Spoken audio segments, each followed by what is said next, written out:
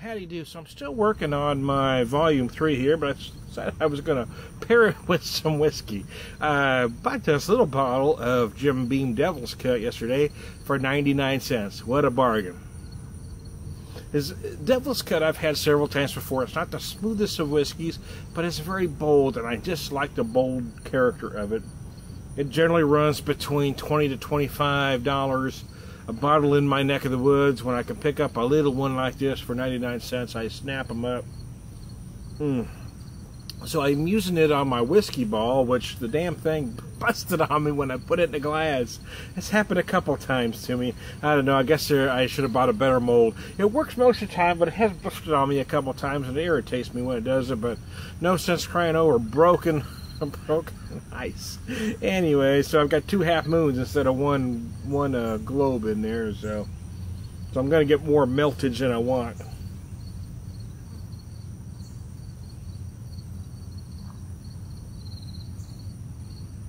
That's very nice. It is a whiskey that lends itself well to chilling because it can be calmed down a little bit. A little bit of water to this particular whiskey does help it. Uh, you can cocktail it or, or highball it if you want. Um, it's, you know, uh, whatever your tastes are in a mood for.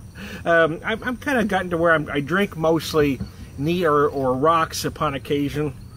Uh, every once in a while I'll have a cocktail, uh, but I'm not a huge cocktail guy. I'm not a fan of sweet cocktails, so uh, every great once in a while I'll have a Manhattan, and every greater once in a while I'll have an old fashioned. But most people tend to make an old fashioned a little sweeter than I like, so I don't tend to order them out, but I do enjoy a Manhattan.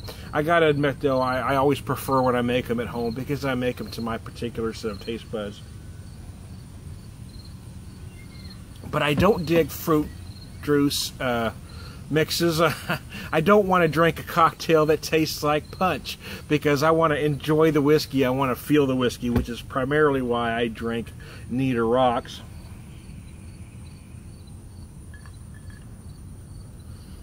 It's a nice whiskey. It may not be as developed as some, but like I said, it is big and bold and uh, and that, that's kind of what I personally like in a whiskey.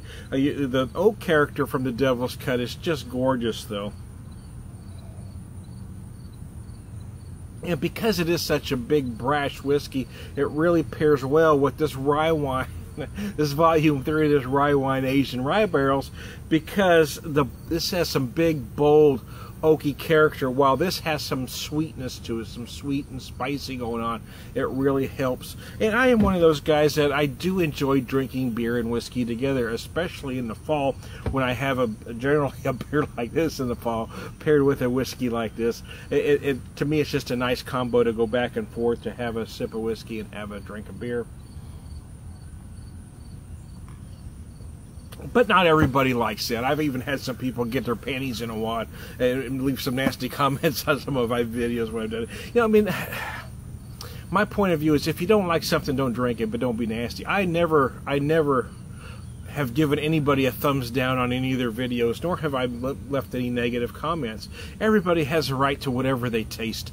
You know, it's not up to me to say you're wrong. You know, taste what you want, drink what you want. If I don't want to have that particular, you know, beer or mixed drink, then I'm not going to have it. But for me to criticize you for having it your way seems a little childish to me. That's why I don't thumbs down anybody's video and I don't leave negative remarks. If I don't have anything nice to say, I don't see anything at all, just like my mom and dad brought me up to be.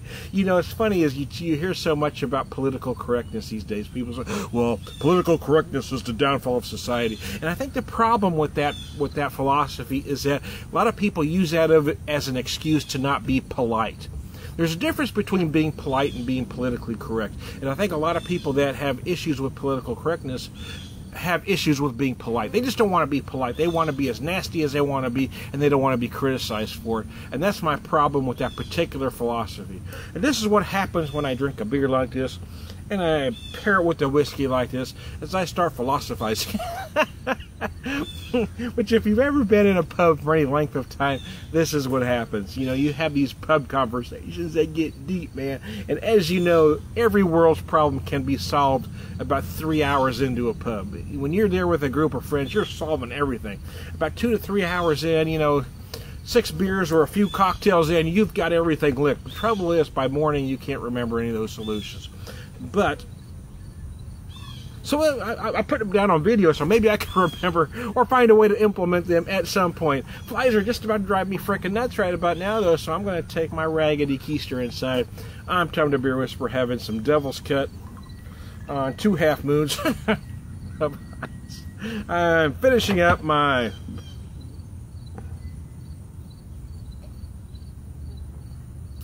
volume three, and we'll talk to you later.